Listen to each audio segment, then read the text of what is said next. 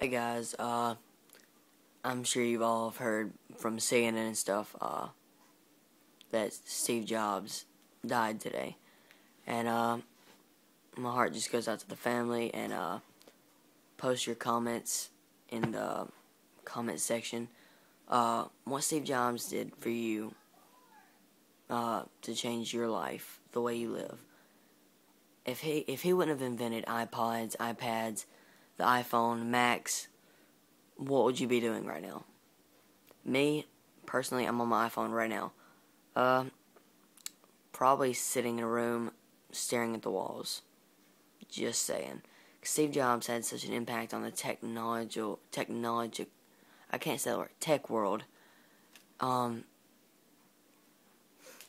and he just changed the way we use technology today in such a great way, and it will never be the same. We miss you, Steve, and uh, you're in a better place.